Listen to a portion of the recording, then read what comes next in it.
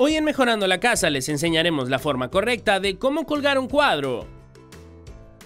Las herramientas que utilizaremos son un taladro percutor, tarugos que servirán para llenar la perforación, brocas de pared para hacer la perforación, wincha para medir la zona, martillos para insertar los tarugos y alcayatas para colgar los cuadros.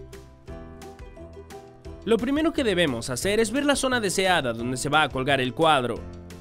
Luego con el lápiz marcamos la parte superior.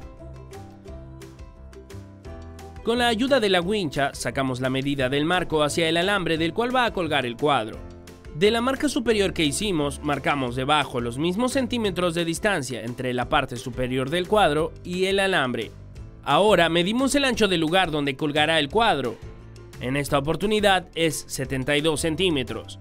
Sacamos el centro, el cual es 36, y lo marcamos con el lápiz.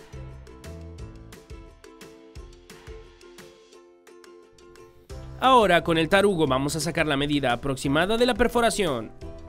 Luego sacamos la medida del borde del marco del cuadro hacia el alambre de sujeción. Luego perforamos la pared. Un tip para no ensuciar, poner una bolsa de basura debajo para que allí caigan los restos de la pared.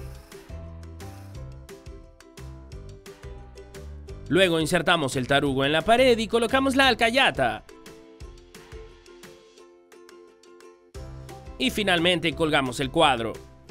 Y listo, ya tenemos un lindo cuadro en nuestra pared y puesto allí de la manera correcta. Tal como te lo enseñamos en Mejorando la Casa.